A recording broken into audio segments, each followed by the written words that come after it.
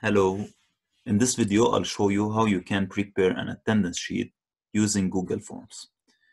So first you have to have a Gmail account and in the forms we uh, enter and we click on blank form.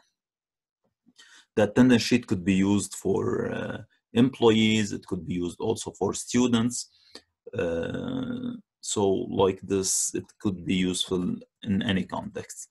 So here first we have to name it attendance sheet.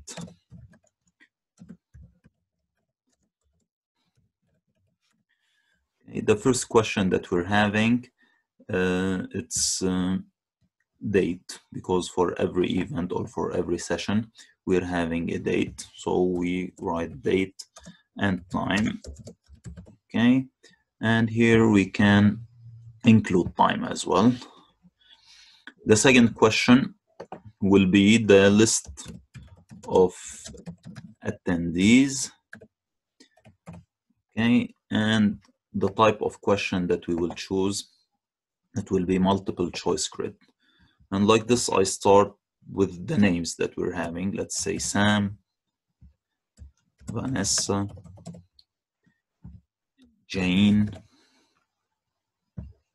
Ellie, and we can add one other. Add myself. Okay and in the columns here you're having whether it's present or absent. Okay and here also we have to put that these questions they are required.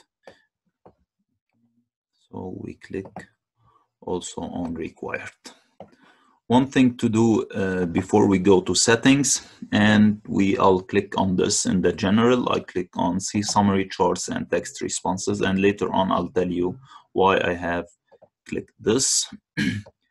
And because most of the time most of the people they are present in order not to fill every time uh, the same information. So what I can do here in an attendance sheet it's to get a pre-filled link. Okay so I click here. The date and time will change, so I won't fill them. However, I will fill all the attendees that they are present. And like this, I can get the link. I can click on copy link. And this link, I can uh, keep it with me at all time. Okay, so here I paste it. And I start with the first time, let's say on the 17th time. It's at 2 okay. And Vanessa was absent. Okay. And I click on submit. Okay. So here what I did before okay I can see what happens every time. So I can see previous response. So as you can see I know here that Vanessa was absent one time.